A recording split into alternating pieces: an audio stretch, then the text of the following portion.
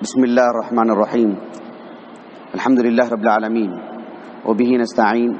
وصلى الله وسلم على سيد الأنبياء والمرسلين وعلى آله وأصحابه أجمعين. ومن تبعهم بإحسان إلى يوم الدين أما بعد. إمام بخاری رحمہ اللہ کی الجامع الصحیح اس کی کتاب الاجارہ کا اٹھارواں باب ہے. باب خراج الحجام. الحجام ہماری یہاں کی زبان میں حلق کروانے والے کو بولتے ہیں، بال کاٹنے والے کو، سر کے بال موڑنے والے کو، الحجام۔ یہاں پر الحجام پچنا لگانے والا مراد ہے، سینگی لگانے والا۔ کپنگ کہتے ہیں نا؟ پچنا لگانا۔ باب خراج الحجام، خراج یعنی الاجرہ۔ سینگی لگانے پر پچنا لگانے پر اجرت لینا۔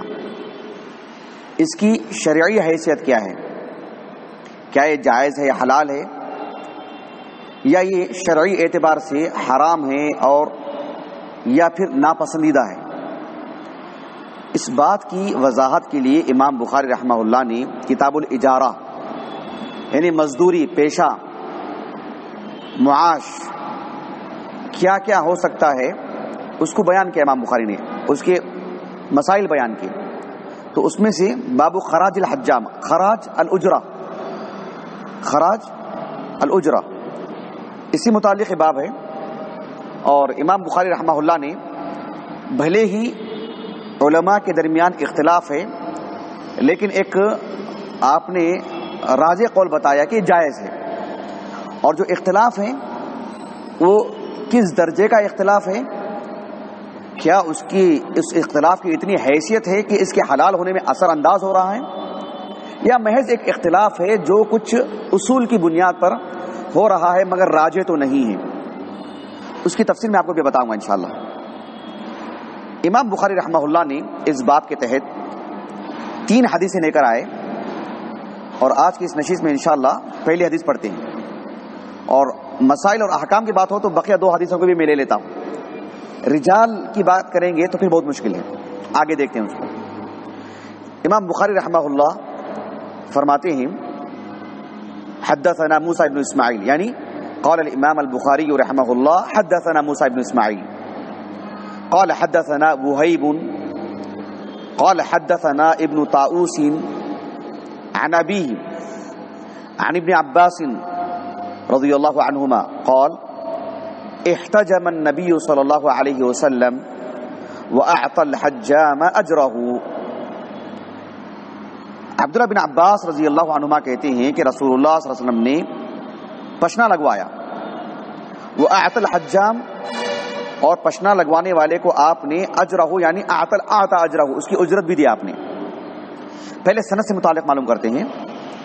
امام بخاری رحمہ اللہ کے استاذ موسا ابن اسماعیل۔ موسا ابن اسماعیل بہت ہی معروف، مکثرین میں سے ہیں، بکثرت بکثرت روایت ہیں آپ کی۔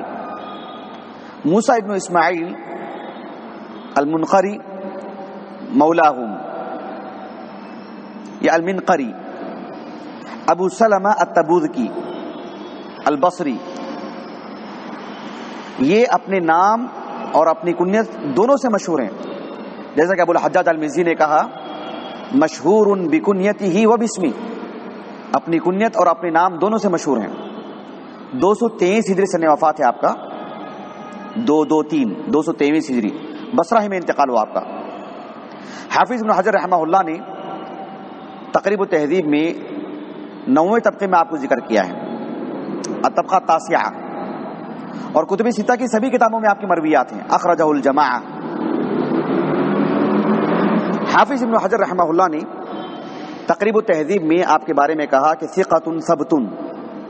اور ہم بتا چکے ہیں آپ کو کہ یہ صحابہ کا جو مقام اور مرتبہ ہے، یہ جو بارہ طبقات ہیں مراتب کے اعتبار سے۔ صحابہ کے درجے کے بعد ابن حجر رحمہ اللہ کے پاس جو بڑا طبقہ ہے، وہ کیا ہے؟ جس کے پاس توثیق کی، جسے مثلا مقرر ہو، توثیق۔ ثقت ثقت ثقت ثبت ثقت حافظ اس طرح کی تکرار اگر ہو تو صحابہ کے بعد ایک اعلیٰ مقام ہے وہ۔ تو اسماعیل موسا ابن اسماعیل تبوذکی رحمہ اللہ المنقری سے متعلق کہا کہ ثقت ثبتن۔ یحییٰ ابن معین، محمد ابن سعد، ان سے پہلے الطبقات القبرا میں۔ ابو الولید الطیالسی، صاحب المسند ہیں۔ حافظ ابن حبان الثقات میں۔ ابو حاتم الرازی کتاب الجرح و تعدیل میں ابو احمد العجلی، احمد ابن عبداللہ العجلی، ان کی جو کتاب ہے معرفت الثقات، ان سب اصحاب علم نے ان کو ثقہ کہا ہے۔ محمد ابن سعد رحمہ اللہ نے کہا کہ ثقاتن اور یہ بھی ساتھ میں کہا کہ کانا کثیر الحدیث۔ مکسرین میں سے ہیں آپ۔ ابو حاتم الرازی رحمہ اللہ کہتے ہیں کہ میں یحییٰ بن معین سے سنا کہ آپ کے بارے میں بڑی اچھی باتیں کہہ رہے تھے۔ وہ اسنا علی ابی سلمہ۔ ابو سلمہ کی تو تعریف کر رہے تھے اور کہا کہ کانا کیسن یہ آپ کے اتقان کی طرف اشارہ ہے۔ بہت متقن تھے آپ۔ الحجاج ابن المنحال آگے نام آئے گا ان کا انشاءاللہ۔ الحجاج ابن المنحال امام بخاری کے استاذ ہیں، بصری ہیں۔ الانماطی۔ بڑے تاجر۔ دلالی کرتے تھے، سنسار۔ یہ خود متقن عالم دین ہے یہ خود متقن عالم دین ہے الحجاج بن منحال امام بخاری کے استاذ، بصری ہیں۔ یحییٰ بن معین رحمہ اللہ نے کہا کہ کان الحجاج بن منحال رجلا صالحا و ابو سلمت اتقنہما۔ ابو سلمہ ان سے بھی زیادہ متقن ہیں۔ حافظ بن حبان رحمہ اللہ نے کتاب الثقات میں ان کا ذکر کیا تو کہا کہ کان من المتقنین۔ یہ مطلب متقن عالم دین، حفظ و اتقان، بہت مضبوط آپ کا۔ ابو حاتم الرازی رحمہ اللہ نے بھی یہی بات کہی ہے۔ کہا کہ ثقہ کہا ان کو؟ اور کہا کہ کانا ایقظ من الحجاج الانماطی۔ حجاج الحجاج ابن المنحال سے بھی زیادہ یہ ایقظ یعنی بیدار مغز، چوکنا، باخبر، رجال سے متعلق، مرویات سے متعلق۔ کس شیخ سے متعلق کیا مرویات ہیں؟ کس علاقے کی کیا ہیں؟ پوری باریکیاں۔ اور کہا کہ ولا اعلم احدا بالبصرہ ممن ادرکناہ احسن احسن حدیثا من ابی سلمہ۔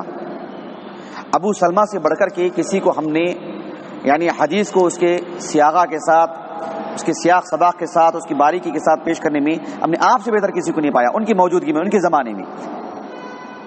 علی بن المدینی رحمہ اللہ نے بڑی پتے کی بات کہی آپ نے ان کے بارے میں۔ کہا کہ من لم یکتب عن ابی سلمت کتب عن رجل عنہ۔ جو ابو سلمہ التبودکی سے نہیں پڑھے گا، ان کی زندگی کو غنیمت نہیں جانے گا، ان کے پاس سفر نہیں کرے گا، ان سے استفادہ نہیں کرے گا، تو کیا ہوگا؟ تو ان کے تلامزہ سے پڑھنا پڑے گا۔ عنہ، ایک واسطے سے۔ میں ایک محاذرہ دیا تھا، یاد ہے آپ لوگوں کو؟ علوم شرعیہ میں مساجر و مراجع کی اہمیت۔ اس میں بتایا تھا میں اس بات کو کہ ایک طالب علم کو یعنی بڑے بڑے مشائق ہوں آپ لپکے ان کی طرف، جائیں ان کی طرف۔ یہ ہمارا موضوع نہیں ہے اس نقطے کو سمجھانے کے لیے۔ بتا رہا ہوں کہ علی بن المدینی کتنی عظیم شخصیت ہیں، رجال کے باب میں۔ وہ بھی بصری ہیں۔ تو ابو سلمہ کے بارے میں کہا رحمہ اللہ کہ جو ان سے نہیں لکھے گا، جو ان سے نہیں پڑھے گا، تو پھر ایک واسطے سے پڑھنا پڑے گا اس کو۔ ابو سلمہ کی مرویات ایک واسطے سے لینی پڑے گی اس کو۔ تو ابو سلمہ باحیات ہیں، فائدہ اٹھائیں، سفر کریں، جائیں ان کے پاس، پڑھیں ان کے پاس، یہ مانا اس کا۔ ابن حجر رحمہ اللہ نے تہذیب التہذیب میں ابن خراش سے نقل کیا ہے کہ انہوں نے کہا کہ تکلم الناس فیہ وہو صدوق، کہ ابو سلمہ سے متعلق لوگوں نے کلام کیا ہے، نقد کیا ان پر، جرح کی ان پر۔ ٹھیک ہے، وہ صدوق ہیں، لیکن جرح بھی کی گئی ان پر۔ تو ابن حجر رحمہ اللہ نے تقریب التہذیب میں لکھا کہ للتفات الى قول ابن خراش تکلم الناس فیہ ابن خراج کی اس بات کی طرف التفات ہی نہیں کیا جائے گا، توجہ ہی نہیں دی جائے گی کہ لوگوں نے ان پر کلام بھی کیا۔ وہ متفقہ طور پر وہ سکھا ہیں۔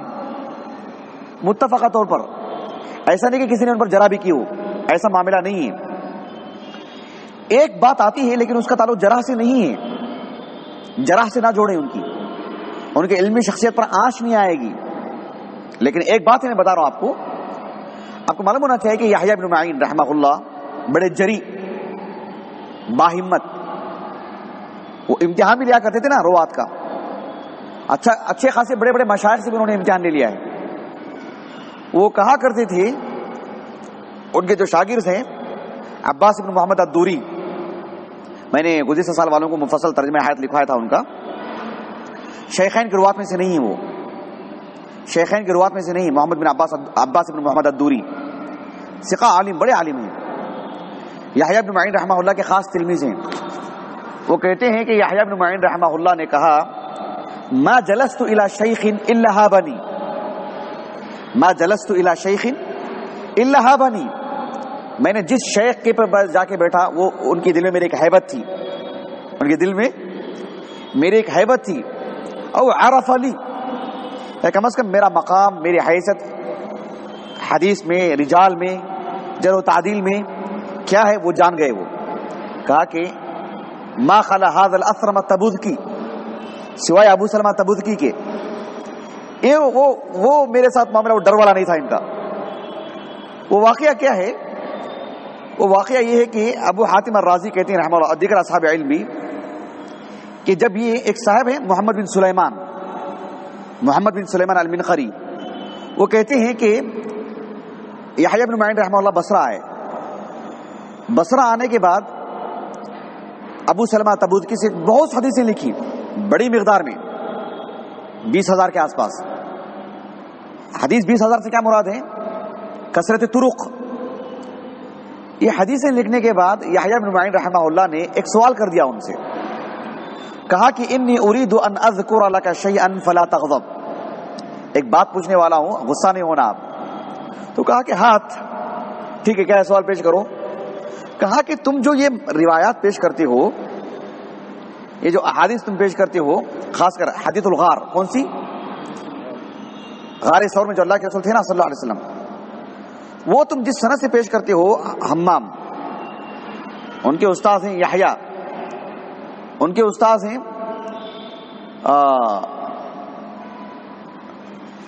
ایک ہے حمام حمام ابن منبع، مراد نہیں، حمام ابن یحییٰ بصری ہیں، اور وہ روایت کرتے ہیں کن سے؟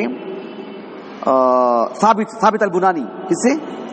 ثابت البنانی، اور وہ انس بن مالک سے، اور وہ ابوبکر صدیق سے۔ کہا کہ یہ جو تمہاری اس سند سے، اس روایت کو لے کر آئے ہیں کتاب کے اوپر لکھی ہوئی ہے، کتاب کے اندر تو لکھی ہوئی نہیں ہے، سرے ورق پر ہے۔ مجھے یہ ایک شبہ آ رہا ہے، یہ تو تمہاری کتاب میں نہیں ہے، جو آپ لوگوں کو بتاتے ہو، یہ تو آپ کے سرے ورق پر ہے۔ اور دوسری بات یہ ہے کہ اس حدیث کو عفان عفان ابن مسلم، معروف، نام آگے آئے گا۔ عفان ابن مسلم، ان جیسے دیگر اہل علم وہ پیش کرتے ہیں ان روایات کو۔ اور یہ تمہاری مرویات میں تو نہیں ہے، اندر تو نہیں لکھی ہوئی ہے، جو آپ نے مجھے املا کروایا۔ یہ تو اوپر لکھی ہوئی ہے۔ تو کافی غصہ آیا ان کو۔ اور کہا کہ آپ کیا کہنا چاہتے ہیں آپ؟ میں میں جھوٹ کہہ رہا ہوں، میں سنا نہیں ہوں، میں ان سے کافی تیش میں آ گئے اور کہا کہ آپ نے جو مجھ سے یہی نوین سے کہہ رہے ہیں، آپ نے جو مجھ سے کہا نا کہ آپ مجھ سے بیس ہزار ایسی کچھ روایتیں سنے ہیں لکھے ہیں۔ اگر واقعات آپ اپنی بات میں سچے ہیں اور آپ مجھے جھوٹا سمجھتے ہیں، تو کہا کہ اگر میں اس بات میں جھوٹا ہوں تو گویا کہ اپنی بیوی کا نام لے کر کے کہا، اپنی بیوی سے متعلق۔ کہا کہ وہ گویا کہ متعلقہ ہو جائے گی وہ۔ مطلب بات ایسی ہے ہی نہیں۔ اور پھر کہا کہ ماں کلم تو کا بدن کبھی تمہارے سے بات نہیں کروں گا میں۔ کافی تیش میں آ گئے۔ کیا سمجھتے ہیں آپ مجھے جھوٹا سمجھتے ہیں تو اس طرح کی بات کہی ان سے۔ اتنی میرے پاس مرویات آپ نے لکھی ہیں، پھر بھی آپ مجھے جھوٹا سمجھتے ہیں؟ تو کس بنیاد پر آپ نے اتنی مرویات لکھی ہیں؟ تو یہ ایک واقعہ ان سے ہوا ہے۔ اس کے باوجود بھی ان کے انتقال کے بعد ہمیشہ وہ ان کی صناحی کرتے رہے ہیں۔ بس ایک ایک پوچھا انہوں نے ایک سوال کے حد تک۔ وہ ان کو کافی غیرت آئی، ابو سلمہ تبوذکی کو، رحمہ اللہ۔ بس اس حد تک بات ہے وہ، اور اس کے علاوہ کوئی بات نہیں۔ ان کے نام کے ساتھ اتبوذکی جڑا ہوا ہے۔ ابو حاتم الرازی کہتے ہیں کہ اتبوذکی یہ ایک جگہ کا نام ہے جہاں انہوں نے گھر خریدا، گھر بنایا۔ تو وہ نسبت جڑ گئی ان کی۔ جبکہ یہ چڑتے تھے، کوئی ان کو تبود کی بولتے تھے۔ مجھے المنقری بولو بھی مجھے۔ میں بنو منقر کی طرف سے میں آزاد مطلب مجھے اسلام ملا ہے۔ المنقری کہو مجھے، ایک شرف کی بات ہے۔ اسلام کی وجہ سے ولا الاسلام۔ لیکن آپ مجھے تبودگی کہتے ہیں، کیوں؟ مجھے وہ پسند نہیں۔ ایسے بھی جمع کریں گے آپ، پچاسوں رجال مل جاتے ہیں۔ جو اسی نام سے مشہور ہیں، لیکن ان کو پسند نہیں۔ ابو الزناد مثلا۔ ان کو پسند نہیں، لیکن ابو الزناد سمجھ رہے ہیں آپ؟ ایسے بہت سارے ہیں۔ القاب کتاب ہے ابن حجر کی، رحمہ اللہ، ضرور پڑھے گا آپ۔ اس میں بہت دلچسپ باتیں ہیں اس میں، اس کے آغاز میں۔ چلیے، یہ جو ابو سلمہ تبوذکی ہیں، حماد ابن زید، بہت بڑی شخصیت۔ لکھوایا ہوں نا آپ کو؟ بتایا ہوں میں آپ کو۔ جی جی۔ حماد ابن زید، شعبہ بن الحجاج، ان سب سے بھی ان کا، انہوں نے ایک ایک حدیث سنی ہے حدیث واحد اور سعید ابن ابی عروبہ، جو اسلامی تاریخ میں ان اوائل میں سے ہیں، ان افراد میں سے جنہوں نے آغاز میں تصنیفی کام کیا۔ سعید بن ابی عروبہ بہت بڑی شخصیت۔ ان سے بھی انہوں نے کئی ایک مسائل یاد کیے ہیں۔ بہرحال، ان کے جو استاذ ہیں، وہیب وہیب ابن خالد۔ وہیب بہت بڑی شخصیت ہیں۔ وہیب ابن خالد ابن عجلان الباہلی مولاہم۔ ابو بکر البصری ایک سو پینسٹھ ہجری سے وفات ہے ان کا۔ ساتواں طبقہ ہے۔ اخرجہ الجماع حافظ ابن حضر رحمہ اللہ نے ان کے بارے میں کہا کہ ثقت ثبتن۔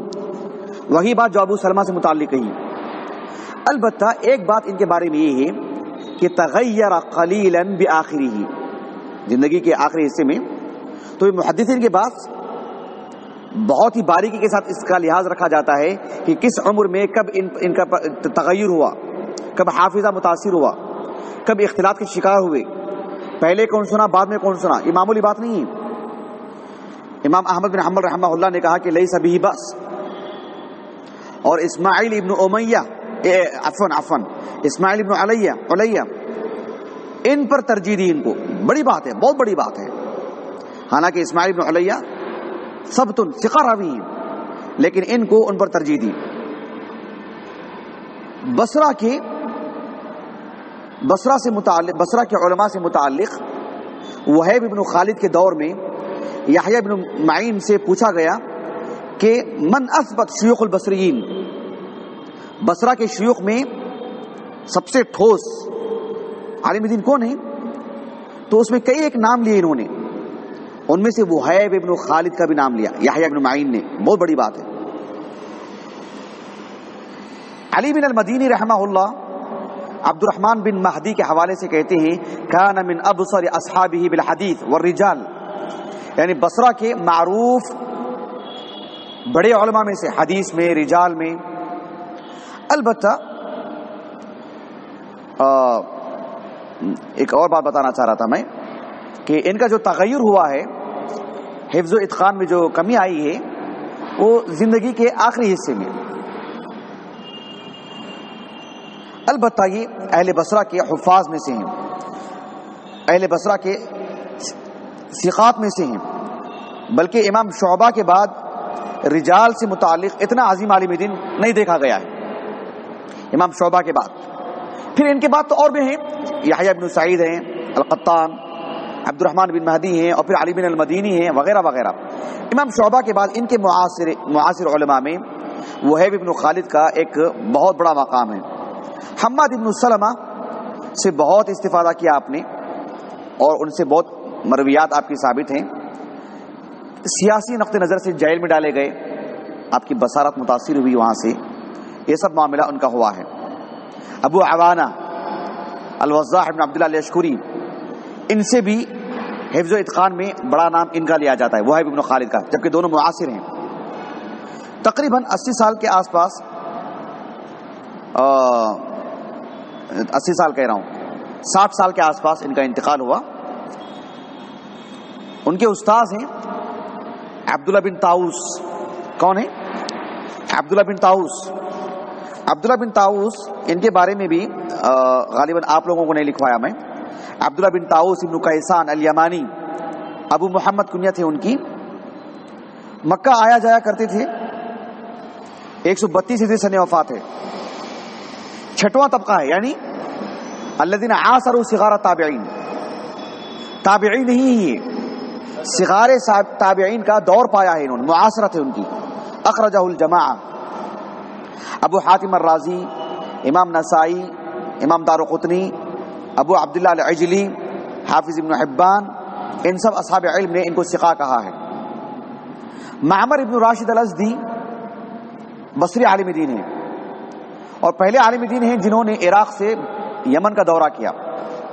یمن جانے سے پہلے بسرا کے ایک اور عالم دین ابو ایوب السختیانی، ان سے مشورہ لیا کہ میں کیا کروں؟ کس سے پڑھوں؟ تو کہا کہ اگر آپ جس علاقے کی طرف جا رہے ہیں، یمن کی طرف، وہاں جانے کا اگر آپ کا پکا ارادہ ہے، تو عبداللہ بن تاؤ سے ضرور مستفید ہوں۔ ضرور پڑھیں، ان کا نام لیا انہوں نے۔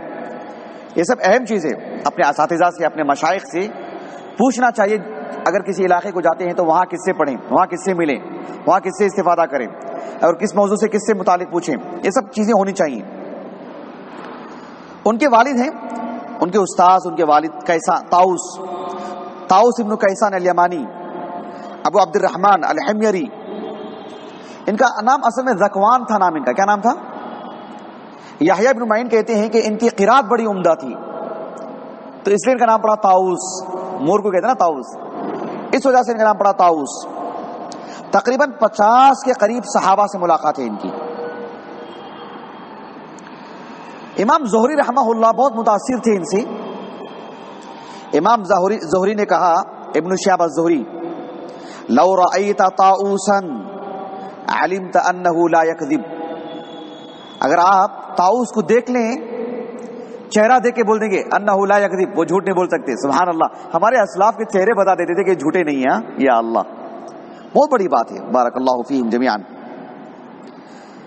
عمرو ابن دینار کہتے ہیں، ما رأيت احدا اعف عما في ايدي الناس یعنی طاؤسا میں نے تاؤس رحمہ اللہ سے بڑھ کر کسی کو لوگوں سے دور رہتے ہوئے، کس اعتبار سے دور رہتے ہوئے؟ مانگنے سے متعلق۔ ہوتا نہیں؟ آج کل تو نسل اللہ السلامہ۔ علم کی بنیاد پر بھی بہت سارے لوگ کسی سے مانگ لیتے ہیں پیسے قرض۔ کیا کچھ نہیں کر لیتے نسل اللہ السلامہ نسل اللہ السلامہ۔ بدترین چیز۔ دین کو بنیاد بنا کر علم کو بنیاد بنا کر آ, یہ یہ ان سے بہت گریز کرنا چاہیے نصر اللہ السلامہ۔ چلیے۔ ان کے استاذ ہیں صحابی رسول عبداللہ بن عباس رضی اللہ عنہما۔ عبداللہ بن عباس رضی اللہ عنہما کہتے ہیں کہ احتجم النبی صلی اللہ علیہ وسلم۔ آپ صلی اللہ علیہ وسلم نے پشنا لگوایا۔ حجم کا جو بنیادی معنی اس کے اندر آتا ہے، ایک چبھن کا معنی آتا ہے اس کے اندر۔ عربی زبان میں کہا جاتا ہے، حجمت الافعا۔ یا حجمت الحیت کا معنی کیا ہوتا ہے؟ سانپ نے ڈسا۔ حجم الصبی صد یا امی کیا مطلب؟ بچے نے اپنی ماں سے دودھ پیا۔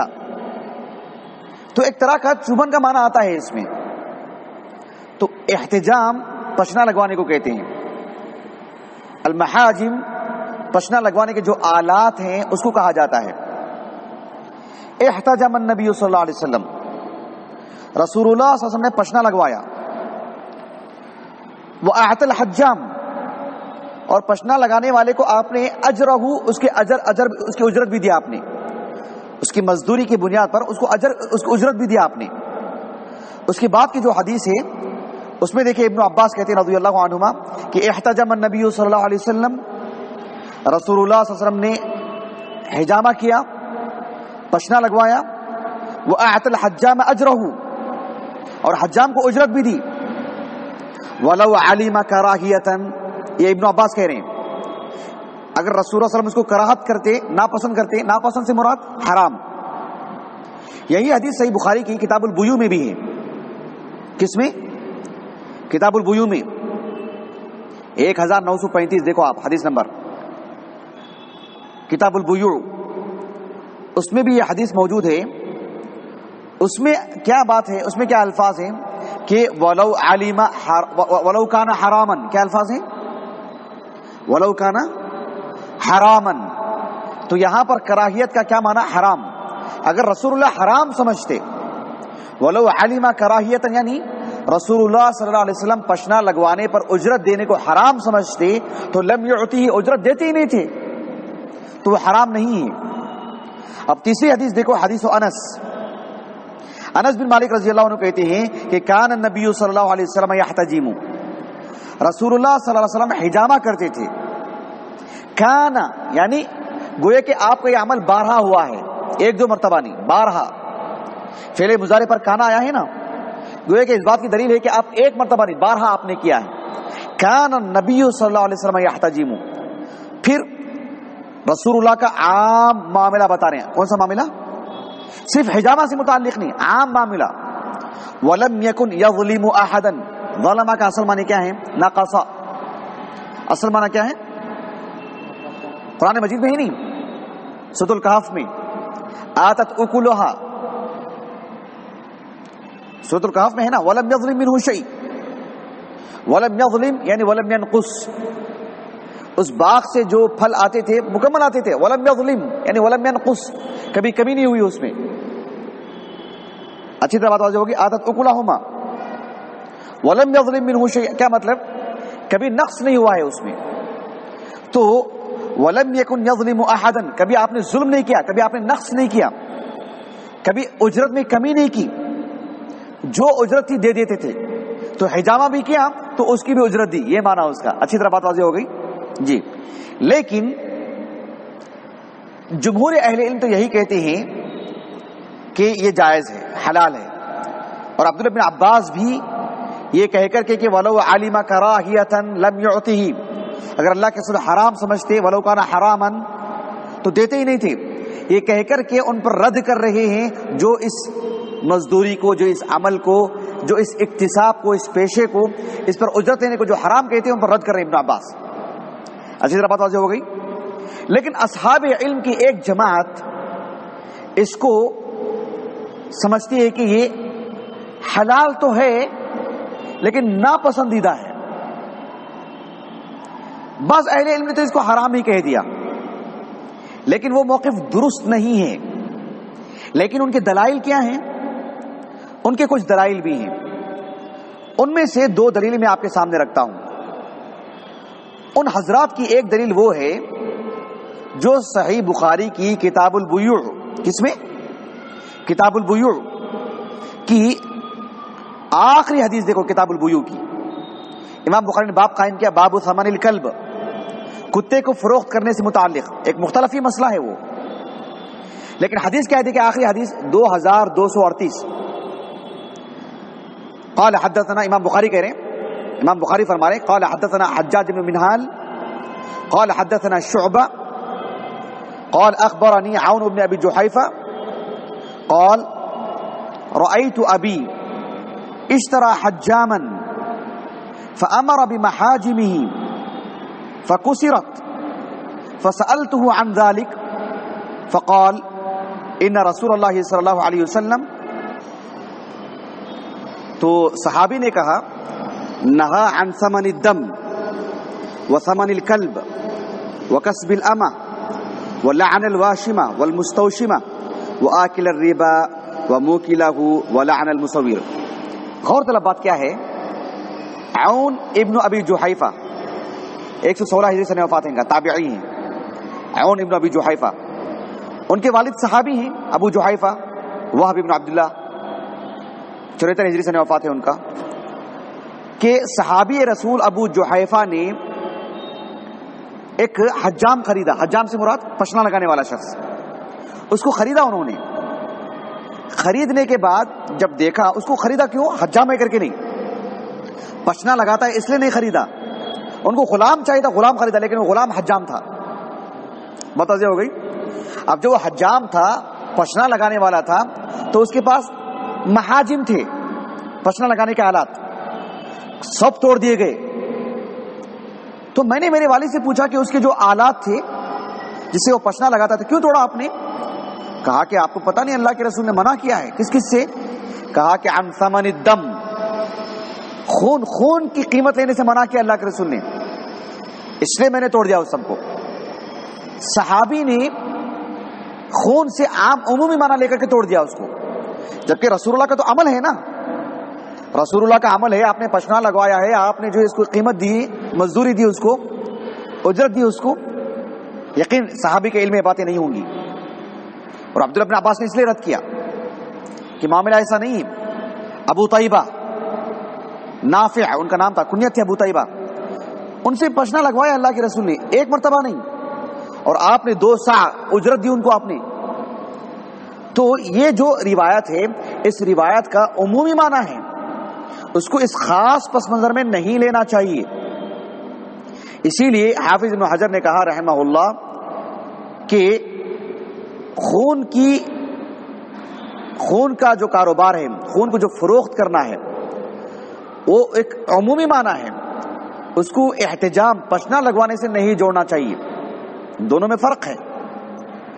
اور خون کا کاروبار، خون کو فروخت کرنا، وہ تو مطلق حرام ہے۔ اجماع اجماع ہے اس پر تو، اہل علم کا۔ لیکن پشنا لگوانا، خون، گندا خون نکال کے علاج کرنا، معالجہ۔ یہ تو بحثیت طبیب کے انجام دے رہا ہے وہ۔ گندا خون نکال کے پھینک رہا ہے وہ۔ وہ ایک الگ چیز ہے۔ لیکن ایک حدیث مبارکہ ہے، جسے امام ابو داود رحمہ اللہ نے کتاب البیوع، حدیث نمبر ہے دو تین ہزار تین ہزار چار سو اکیس۔ شیخ البانی نے صحیح کہا ہے۔ رافع ابن خدیج رضی اللہ عنہ وہ کہتے ہیں کہ رسول اللہ صلی اللہ علیہ وسلم نے کہا کہ کسب الحجامی خبیث کیا کہا؟ کسب الحجامی خبیث اللہ کے رسول نے پشنا لگانے والے کی کمائی کو خبیث کہا ہے. عون المعبود کے مصنف مولانا شمس العظیم آبادی رحمہ اللہ، انیس سو گیارہ ان کا سن وفات ہے. اس کی نوی جلد اس کی شرح کرتے ہوئے انہوں نے کہا کہ قصب الحجام کو جو خبیص کہا اللہ کے رسول نے، تو خبیص کہا کیوں کہا؟ خبیص پہلے یہ بات آتی ہے کہ اسے خبیص کہا کیوں؟ پھر یہ بات آتی کہ کیا خبیص سے مراد حرام ہے کیا؟ یا بس حرام ہے، یا بس تنظیحن ہے۔ بس ناپسندیدہ کیا گیا ہے، ناپسند یہ عمل۔ تو اللہ کے رسول نے اس عمل کو جو خبیص کہا ہے خبیص کے حرام کا متبادل لفظ ہے اسے بعد میں بتائیں گے۔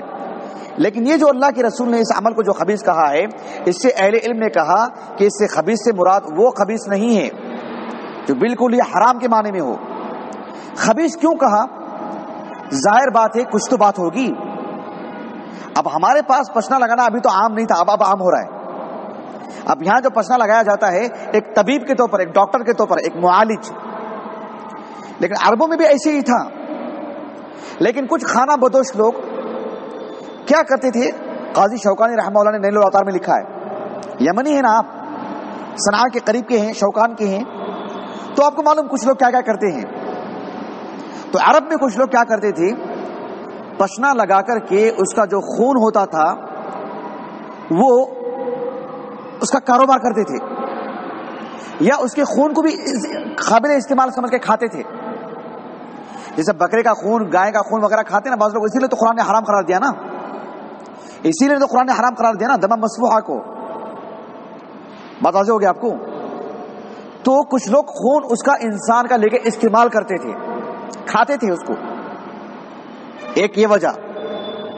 دوسری وجہ یہ بھی ہے بس اہل علم نے کہا کہ قدیم زمانے میں کچھ ایسا استعمال کرتے، سر پر وغیرہ گائے کی سینگ وغیرہ لگا کے، کچھ اور آلات لگا کے چوستے تھے تو بہت خون اندر چلا جاتا تھا۔ تو اس عمل کی وجہ سے بھی اللہ کے سنے اسے خبیص کہا۔ اور کچھ لوگ تو اسے استعمال ہی کرتے تھے کھانے کے لیے۔ اور کچھ لوگ انسان کا خون استعمال جو نکالتے تھے، گندا خون، علاج کے طور پر جمع کر کر کے اسے کہیں فروخت بھی کرتے تھے۔ اس وجہ سے اللہ کے رسول نے اس طرح کی کمائی کو ثمن الدم کے عموم میں یا یا, یا قصب الحجام میں خبیص ان کا اسی پس منظر میں کہا۔ ورنہ پیارے رسول صلی اللہ علیہ وسلم کہاں نا یہ تجیم بارہا آپ نے احتجام کیا آپ نے پشنا لگوایا آپ نے اس کا اس کی مزدوری دیا آپ نے اس کی قیمت دیا آپ نے کرنے والے کو۔ یہ بات اچھی طرح واضح ہو گئی آپ کو۔ اور لفظ خبیث حرام کا متبادل لفظ بھی نہیں۔ اس پس منظر میں اہل علم نے اس کو ناپسندیدہ کہا ہے۔ کچھ اہل علم نے فرق کیا اس کو؟ کس طرح سے فرق کیا کہ جو جواز کی بات ملتی ہے اللہ کے رسول کی طرف سے، وہ جب وہ، جب پہلے سے طے شدہ ہو کہ بھائی اتنے اجرت دو، جیسے آج کے زمانے میں ہو سکتا ہے پانچ سو، ایک ہزار، ڈیڑھ ہزار۔ حسب ضرورت۔ پہلے سے طے شدہ ہو تو وہ خبیص نہیں ہے، وہ حرام نہیں ہے۔ اس سے منع نہیں کیا اللہ کے رسول نے، لیکن جب مجھول ہو، نہیں پہلے کر لیں گے، بعد میں دیکھیں گے۔ تو لڑائی جھگڑا ہو سکتا ہے۔ تو اس کو محمول کے اہل علم نے؟ ابن العربی وغیرہ نے، رحمہ اللہ۔ عارضت الاحوزی میں انہوں نے لکھا ہے۔ اور بعض اہل علم جیسے احمد بن حنبل وغیرہ ہیں، الحر، آزاد انسان اور ایک غلام، دونوں میں فرق کیا ہے۔ غلام کے لیے جائز ہے اور ایک آزاد انسان کے لیے، کیونکہ ایک گرا ہوا پیشہ ہے اس وجہ سے۔ لیکن معاملہ آج ایسا نہیں ہے۔ آج معاملہ ایک گرے ہوئے پیشے کے نام پر نہیں ہے وہ، ایک اچھا پیشہ مانا جاتا ہے۔ بہت سارے مسلمان سیکھ رہے ہیں، کر رہے ہیں، اس کا بہت فائدہ ہے۔ تو ایسی صورت میں ایک عمدہ پیشہ ہے۔ اس پر کوئی قیمت لیتا ہے؟ یقیناً جائز ہے اس کے لیے۔ اس کا ایک دکان ہوگا، اس کی دکان کی قیمت ادا کرنی پڑے گی۔ وہ پوری چیزیں چھوڑ کے لوگوں کے اسی لیے پیچھے پڑا ہوگا صبح سے شام تک پشنا لگانے سے متعلق۔ کیا کیا دے گا لوگوں کو اپنے بیو بچوں کو؟ تو اس پر ایک قیمت طے کرتا ہے۔ مباح ہے، جائز ہے۔ اچھی طرح بات واضح ہو گئی؟ امام تحاوی رحمہ اللہ وغیرہ نے اس کو ناسخ و منسوخ سے بھی جوڑا ہے کہ پہلے منع تھا اور بعد میں جائز ہے۔ بعد میں ناسخ والی حدیث آئی ہے۔ علامہ حازمی رحمہ اللہ نے بھی الاعتبار فی الناسخ والمنسوخ میں اس حدیث کو لا کر کے یہ بتائے ہیں۔ لیکن راجع بات یہی ہے کہ ناسخ و منسوخ سے اس معاملے کو نہیں جوڑا جا سکتا۔ کیوں؟ اس لیے کہ ہمیں تاریخی طور پر پتا نہیں کون سی حدیث پہلی کی کون سی حدیث بات کی ہے۔ اسی لیے راجع قول یہی ہے کہ اصلا یہ مباح ہے۔ لیکن مان لیں، جیسے کہ بعض اہل علم نے کہا، بعض اہل علم نے کہا، جیسے کہ فتح الباری وغیرہ میں منقول ہے، ابن حجر نے نقل کیا ہے بعض اہل علم سے۔ حافظ ابن الجوزی کے حوالے سے انہوں نے لکھا ہے، المشکل سے نقل کر کے۔ کہ ایک انسان کو مرض لاحق ہوتا ہے بیماری آتی ہے ایسی صورت میں ضرورت ہوتی ہے کہ اس کو بطور علاج کے کیا جائے۔ ایسے میں مریض مریض ہوتا ہے، تو اس کے حساب سے قیمت میں اونچ نیچ ہونی چاہیے۔